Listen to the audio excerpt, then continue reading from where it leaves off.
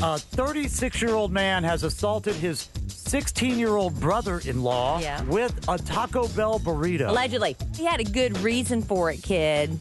Malvin, That that 16 year old was being disrespectful to his mother. Dang ah. right. So he just threw a burrito to his face. So the 16 year old says to his mom, Bring me my burrito.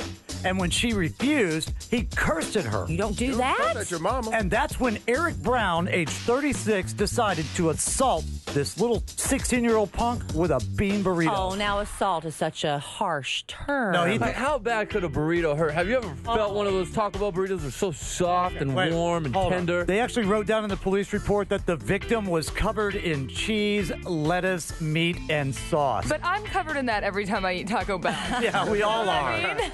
so that means he was either assaulted or he tried to eat Taco Bell in the car. it's impossible. Have you ever squirted yourself in the eye with those hot sauce oh. packets, though? You scared, I scared me know with where, the yeah, I know squirting where you going there for now. You could have stopped after squirted. Yeah. Every time I just squirt myself in the eye.